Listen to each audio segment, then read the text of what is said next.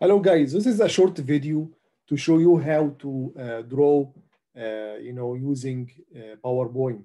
So basically, uh, the, your assignment will be to implement XOR and XNOR gates using NOR, okay? So uh, I want this to be done using PowerPoint. So I will share with you on Canvas uh, an OR gate okay, an icon for NOR gate in a, in a, in a PowerPoint template. And you just draw inside this template. As you will see in a moment, this will take maybe one or two minutes. This, you just think about the circuit first using handwriting on a piece of paper. Then you just, you know, draw what you did here in, uh, in, your, in your paper into PowerPoint.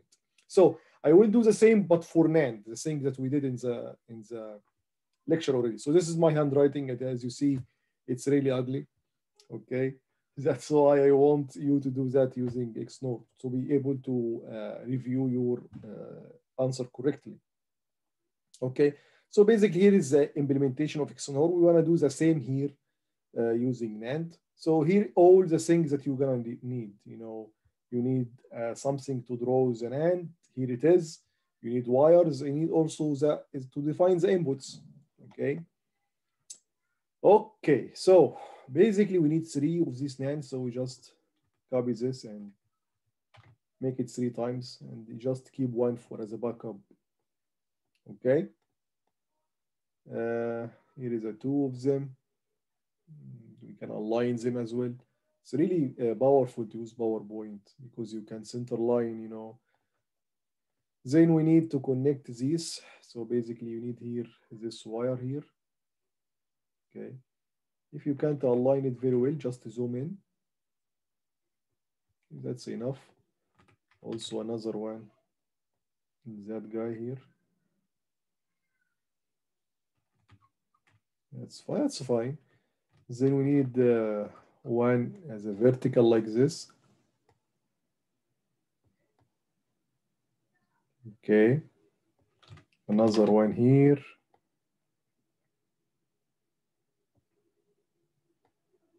Decrease this increase this a little bit. And finally another one but horizontal this time.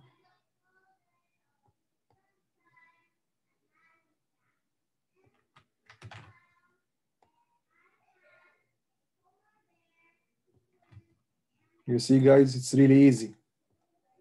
Maybe we take two minutes in this or less than.